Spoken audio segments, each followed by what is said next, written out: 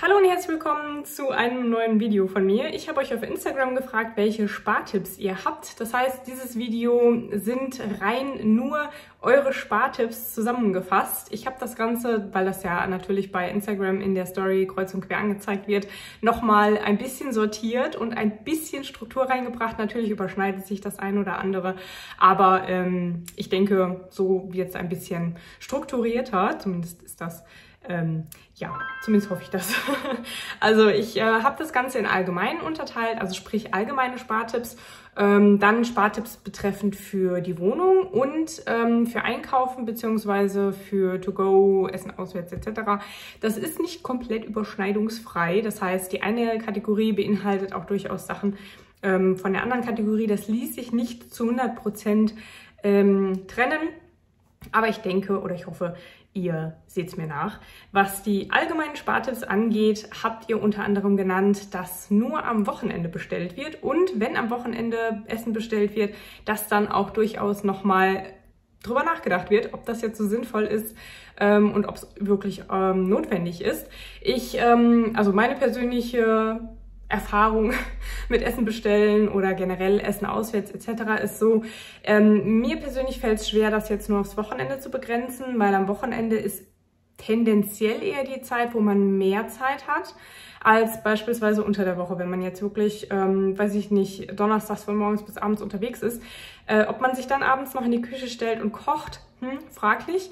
Das heißt, man könnte eventuell ähm, sagen, okay, ein bis maximal zwei Tage in der kompletten Woche, also von Montags bis Sonntags, darf bestellt werden oder kann bestellt werden oder man isst irgendwie ähm, auswärts etc., dass man das so festlegt und dass man dann die Tage so timet bzw. legt, wie es am besten passt. Das heißt, wenn man irgendwie donnerstags einen langen Arbeitstag hat, könnte man dann sagen, okay, donnerstags ist auf jeden Fall ein ich esse auswärts Tag und oder ich bestelle Essen Tag.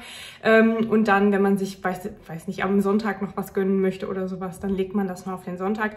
Grundsätzlich finde ich das einen sehr, sehr guten Tipp, vor allem für Leute oder ähm, ja, generell Wohngemeinschaften, kann ja auch sein, ähm, die dazu neigen, sehr viel zu bestellen. Denn äh, ich merke auch immer wieder, dass wenn ich mal bestelle, so ein, zweimal im Monat, da geht richtig Geld bei drauf.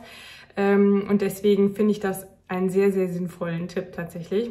Dann ein weiterer Tipp von euch, äh, Pfandflaschen einzusammeln, wenn man sie sieht. Das mache ich sowieso schon seit Jahren. Immer, wenn ich irgendwie wandern gehe oder auf einem Parkplatz parke und ich da Pfandflaschen sehe, dann nehme ich die sowieso schon immer mit. Da ist mit Sicherheit schon der ein oder andere Euro zusammengekommen. Was ich stehen lasse, sind ähm, Pfandflaschen bei ähm, Mülleimern in der Stadt. Weil äh, das sind meistens Flaschen, die sind extra trapiert, sage ich jetzt mal. Die sind extra so hingestellt, dass äh, sich die Obdachlose eben schnell wegnehmen können. Und ähm, die lasse ich tatsächlich stehen. Aber wenn ich die irgendwie so äh, lieblos weggeworfen finde, ähm, dann nehme ich die mit. Also da kenne ich nichts. Macht ihr das äh, tatsächlich auch schon oder sagt ihr, oh nee, das ähm, nee, traue ich mich nicht oder so? Weil ich hatte tatsächlich am Anfang auch ein bisschen Hemmung, so nach dem Motto, ah, die sammelt Pfandflaschen. Aber mittlerweile ähm, ist mir das tatsächlich auch egal, was andere da, darüber denken. Ähm, ein weiterer Tipp von euch war Tuben äh, aufzuschneiden, beispielsweise von Zahnpasta oder sowas. Denn ähm, da sind noch, oder da ist noch sehr, sehr viel Produkt tatsächlich in der Tube, was man so gar nicht rausdrücken kann. Man kann dann die Tube aufschneiden und keine Sorge, dass euch das irgendwie eintrocknet oder so. Man kann die Tube dann ineinander stecken. Das heißt, wenn ihr das Produkt, also nachdem ihr das aufgeschnitten habt, nicht komplett äh, verbraucht bei dem einen Mal, dann steckt ihr die Tube einfach wieder zusammen und dann trocknet das auch nicht aus. Ist auf jeden Fall ebenfalls ein super Tipp der sich jetzt natürlich auch nicht sofort immens im Budget niederschlägt, sondern das ist eher was, was längerfristig Geld spart, sollte man dazu sagen. Ein äh, weiterer, eher allgemeinerer Tipp ähm, ist, kam von euch, nicht von mir, ist tatsächlich Budget führen. Das heißt, ähm, natürlich die, nicht nur die Einnahmen zu tracken, sondern besonders auch die Ausgaben. Äh, ich kenne das mittlerweile oder ich habe es jetzt auch dieses Semester wieder gemerkt, dass wenn ich bei der Uni bin oder generell, dass ich irgendwie viel unterwegs bin, dass ich dazu geneigt bin, vor allem wenn ich wenig Zeit habe, dass ich dazu geneigt bin, irgendwie mir beim Bäcker was zu essen zu holen. Und das geht durchaus richtig ins Geld. Also ich habe äh, für einen, ähm, ich weiß nicht, ob ihr die kennt, es gibt ja so diese ähm, ein Viertel Fladenbrot mit äh, Thunfisch und Salat und was da alles drauf ist. Gibt es, glaube ich, auch mit Käse und Schinken oder sowas, aber da kenne ich jetzt die Preise nicht. Mm, dieses Thunfisch-Fladenbrot hat, glaube ich, mal, keine Ahnung, 4,50 oder so gekostet und das war schon teuer. Mittlerweile ist es schon bei 5,20 Euro und wir sprechen hier dann nur von einem ähm, Fladenbrot. Das heißt, ihr kommt damit einen halben Tag weit oder so, je nachdem, wie viel Hunger ihr habt oder wie viel Appetit ihr habt. Dann holt man sich irgendwie noch ein zweites Teilchen, dann ähm, hat man irgendwie vergessen von zu Hause einen Kaffee mitzunehmen, dann holt man sich noch einen Kaffee to go, dann holt man sich noch eine Cola und so weiter und so weiter und ruckzuck sind irgendwie am Tag 15 Euro weg oder noch mehr. Ähm, das geht richtig schnell. Das heißt, wenn ihr das Ganze auflistet, seht ihr am besten auch, wo eure Schwachstellen sind und wo ihr auf jeden Fall auch noch Einsparpotenzial habt. Ich für meinen Teil habe mir meine äh, Getränke bei der Uni verboten verboten, wenn man das so, ja doch, kann man eigentlich so sagen. Denn ähm, Essen ist da sehr günstig. Das liegt ja unter anderem auch daran, dass das stark bezuschusst ist. Das heißt, für ein Mittagessen mit äh, Salat und Nachtisch etc. bezahle ich 2,60 Euro. Dafür kann ich nicht selber kochen. Ähm, der Nachschlag kostet 40 Cent ähm, wenn, ich, wenn ich irgendwie nicht satt geworden bin. Und wie gesagt, dafür kann ich nicht selber kochen, wenn man jetzt auch noch die äh, Energiekosten für Backofen und Co. da drauf rechnet. Das heißt, essen werde ich auf jeden Fall ähm, weiterhin an der Uni, wenn ich sowieso da bin. Aber jetzt jeden Tag beim Mittagessen noch eine Cola oder eine Apfelschorle oder was auch immer für 1,20 oder 1,10 das äh, muss nicht sein. Ich werde mir jetzt ähm, neben dem Kaffee, den ich seit diesem Semester regelmäßig mitnehme, äh, was mir auch schon sehr viel Geld gespart hat, werde ich jetzt äh, auch wieder vermehrt darauf achten, dass ich mir einfach Wasser mitnehme. Ist nicht nur gesünder, sondern spart auch richtig viel Geld. Das nochmal tatsächlich als ja, mein, mein persönlicher Tipp.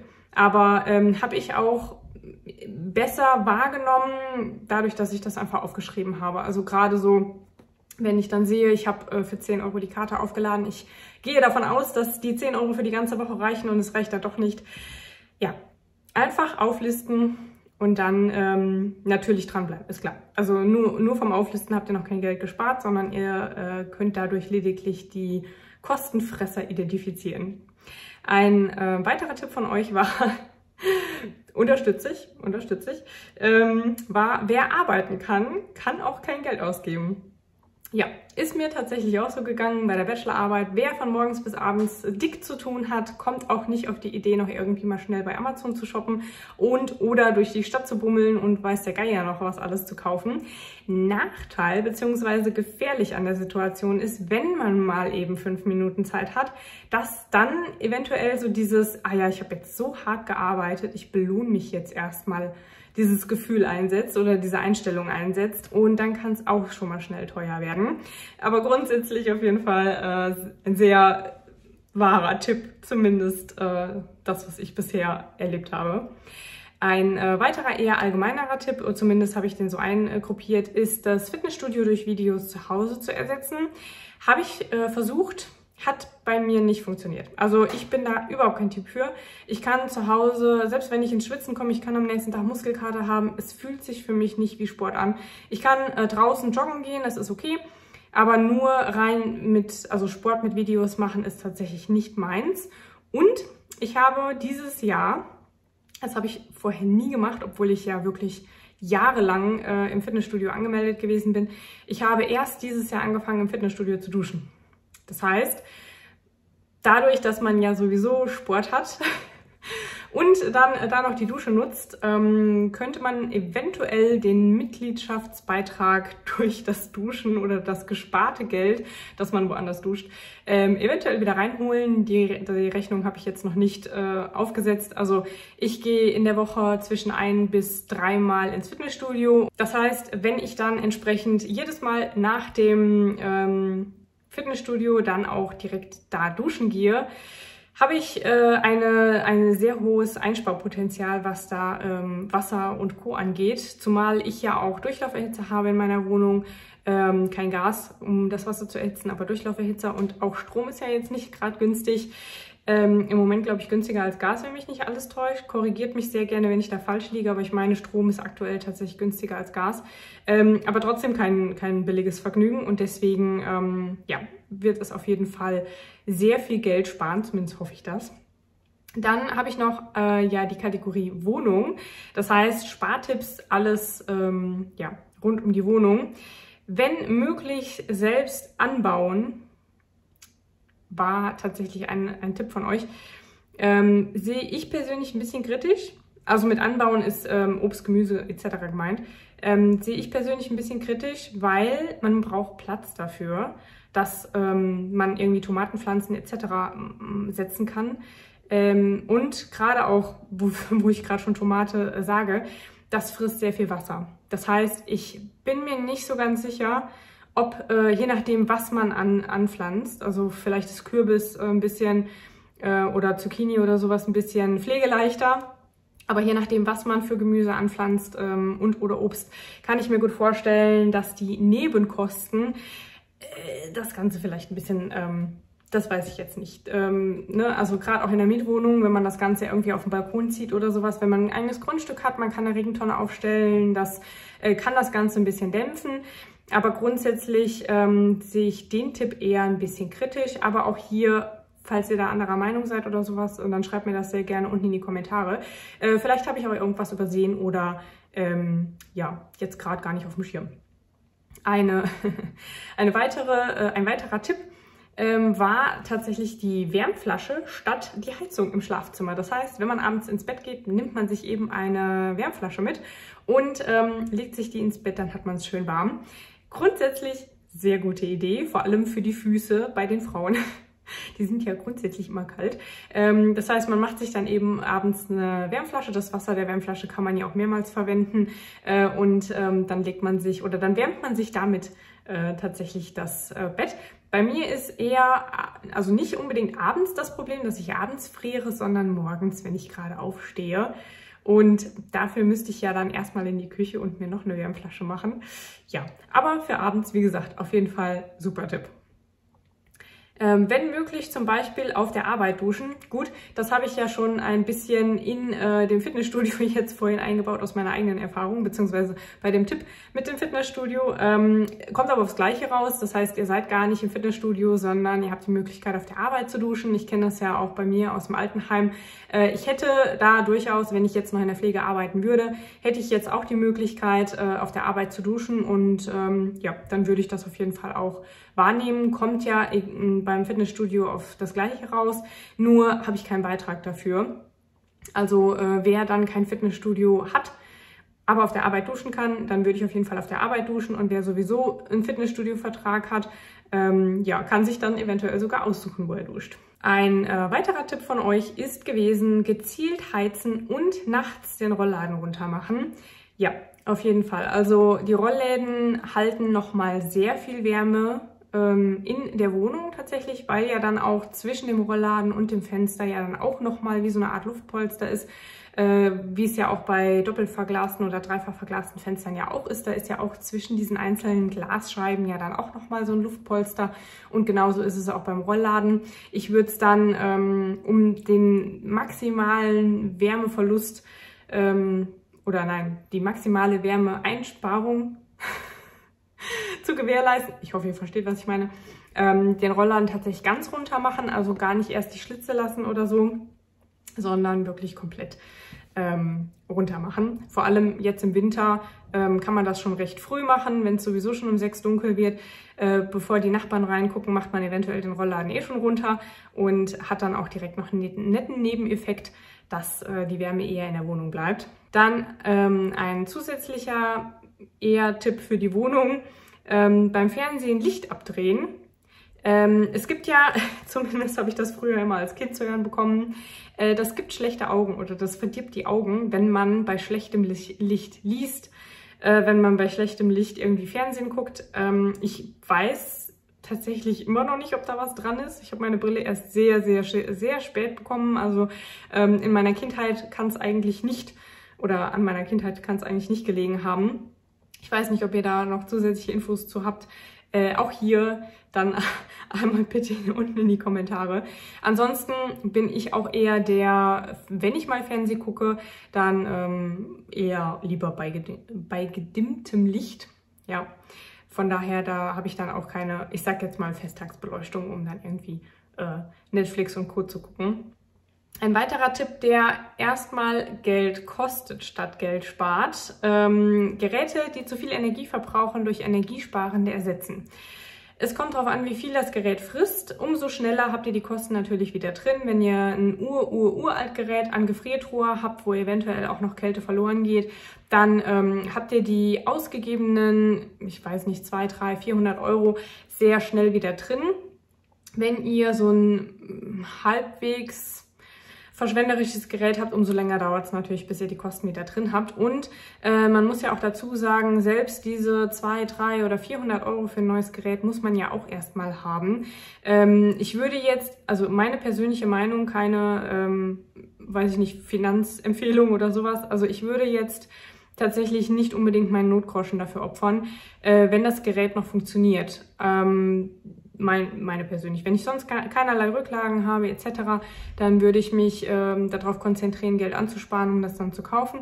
Aber ich würde jetzt nicht sofort losstürmen und irgendwie die Geräte austauschen, meinen kompletten Notgroschen auf den Kopf hauen und dann kommt, weiß ich nicht, irgendwas anderes dazwischen und dann habe ich keine finanziellen Rücklagen mehr. Also ähm, das würde ich tatsächlich jetzt nicht unbedingt ähm, empfehlen. Wie gesagt, persönliche, persönliche Meinung. Aber grundsätzlich sollte man, je nachdem wie alt die Geräte sind, ähm, da durchaus äh, über eine Neuanschaffung auf jeden Fall nachdenken. Ein weiterer Tipp für die Waschmaschine ist, diese kälter laufen zu lassen und weniger Waschmittel zu verwenden. Da gab es noch den Zusatz mit die Tenside schaffen das.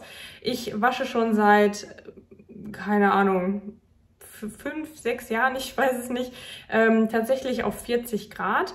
Ausnahmen sind bei mir irgendwie Putzlappen oder Handtücher oder sowas. Und die lasse ich dann tatsächlich heiß laufen, damit ich sicher sein kann, dass da alles abgestorben ist, was absterben soll. Das ist die einzige Ausnahme, aber normale Kleidung wasche ich grundsätzlich schon bei 40 Grad. Ich weiß nicht, ob da 30 auch ausreichen. Ich bin da jetzt nicht so der Experte. Aber ähm, ja, wie handhabt ihr das mit, mit der Wäsche? Das würde mich tatsächlich mal interessieren. Also, dass das Waschmittel reduziert ähm, werden kann, das ähm, habe ich auch schon eigene Erfahrung, ja, kann man, kann man reduzieren. Aber mit der Temperatur zumindest bei mancher Wäsche weiß ich jetzt nicht. Also es gibt ja auch irgendwie so Kinderkleidung oder sowas oder ähm, diese wiederverwendbaren Windeln, die man mit, mitwäscht oder so. Ich bin, ey, bin da komplett out of order, ich habe da keine Ahnung. Ähm, das würde ich jetzt nicht unbedingt bei 20 Grad waschen, aber das ist jetzt nur meine persönliche Meinung. Auch hier gilt, wenn ihr da mehr Infos habt oder so, dann sehr gerne ähm, unten in die Kommentare.